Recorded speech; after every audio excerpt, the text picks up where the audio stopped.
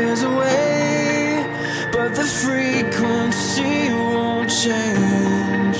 So I don't say you're the reason for the way I can't restrain.